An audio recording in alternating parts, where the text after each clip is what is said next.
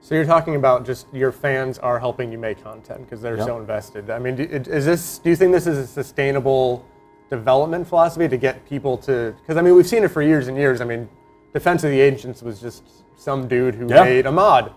But I mean, is this something you think you can rely on for games? Is having like people in the community who are so invested that they almost help make the game they're looking forward to? Um, I think it's the future, and I think that's why Defense of the Ancients or League of Legends is one of the most. There's. It's not an accident that that game is so popular right now. It's gotten to the point where us as developers been in the industry now almost 23, maybe 25 years. I can't count, but it's been a long time, and we're getting ideas now from gamers um, who have said, "Man, I love playing these games. I have this one idea." And the great thing is, you have to think about. I, I kind of think of it as all in parallel where in a typical traditional studio, you have 50 or 60 people that work in this hierarchy, maybe hundreds. And if it gets to thousands, it even gets harder to get all these things up the food chain to the director, to the associate producer, to the producer. All that stuff gets really hard. With this, it's just here's my idea, what do you think? Here's my idea, what do you think? And then you've got community members organizing it, saying, hey, these are the ones you guys should look at. And it happens, it's almost like this parallel chain. I, I like to think, I call it wetware because I really think it is like brain cells firing in parallel that just help you out. And to say to rely on it, I, I think that's good, but I, I would say use it as a tool. And um, I do think it's the future. I, I think League of Legends or games like Dota and stuff are the most popular right now, not by accident, because it's a natural um, evolvement of the gaming industry, and that's what's I would say the ult, not the ultimate, but that's that evolution came from real time strategy, where people were saying, hey, you know what, doing all these armies is kind of cool, but I'd rather just focus on one, and I want some light role playing elements, and now I want something what I would equate to like tennis, where I want this board, and I want I want to know hey, you know, this character's MIA in, in mid, or I, I want I want solo top. I don't want to be support. But all of these things are getting really much like a sport, and it and it evolved. And I think other genres can go that way too. And when it comes to Lovecraft, who I'm a huge fan of, if you think about Lovecraft, the first thing he did was spread his stories out there and say, everyone else pitch in. And in some sense, we're hearkening back to his, his which is you know, almost 200 years old now. Let's do the same thing. Let's let's contribute. Let's join uh, join what we're doing. Join the order. Contribute to this content. Help make this universe. It'll be an experience that you might have fun. And even if you're not creative, just give your comments out whether you like it or not, and that'll help too. Okay. So uh, a lot of people have talked about how AAA development isn't sustainable because it costs $80 million and you have to sell Yep. a preposterous amount to, to make money. Is this, do you think this is a way by having the community help to, to sustain, extend the life of AAA? Or do you think AAA just might be going down a road that has no happy ending? Or do you think it's fine? Uh, AAA is not fine. um, I think I would I would equate. So you asked several good questions there. So let me let me answer the first.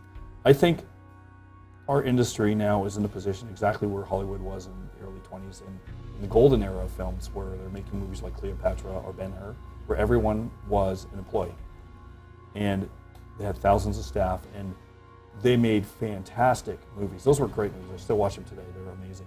But the studios looked at them and said, "We're not making money. This is not working."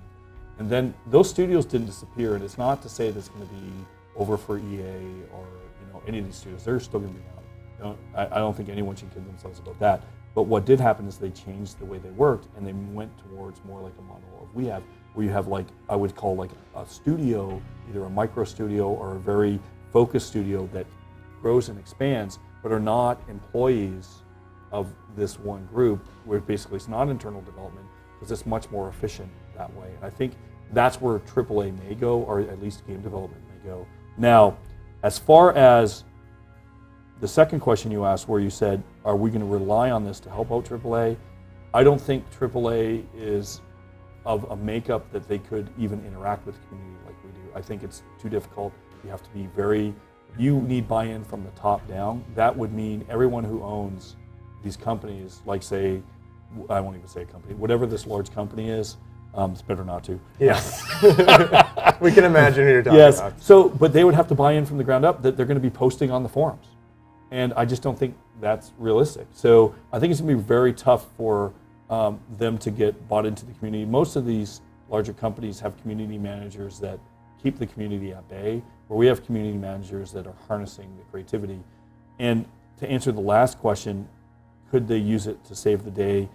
Um, we're when we started doing this initiative to work with the community, we didn't know where it was going to go, but the goal was to make the game better, not to save us time or to, you know, have. We had like as an idea, what as an example, what's going on now? We have people creating elder gods. It was one of the things we opened up. So we have this thing called the Alienonic Rosette that's basically got the cosmology for our game, and you should look at it. It's really cool. Recommend it. And then we have nine elder gods where we have sigils, and we said let's create some of these, and so out of the blue, people started jumping in right away, very, very popular. And then out of the blue, we had someone go, hey, who wants concepts for their elder gods or their eternals? I'll create them. Then suddenly we have concept artists start contributing. And it's amazing, but it's not, you can't rely on that stuff. Yeah. At the end of the day, you can only hope it happens because some of the initiatives we do may not be as successful.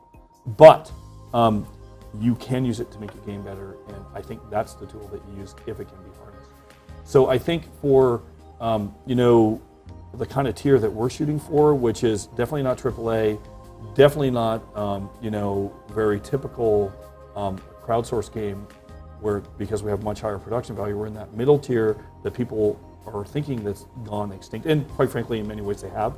But let's bring that back. That's what we're trying to do. Okay. That's the goal.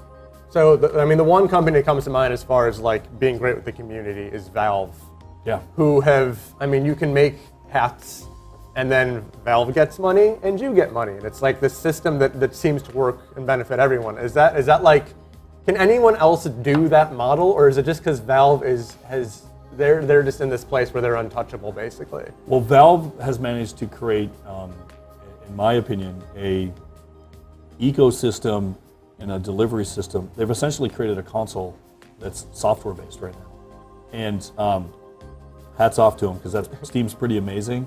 Um, I think they can only do that because of their delivery system. I, I think it's possible for a studio like us maybe to do that, but it'd be much much more difficult.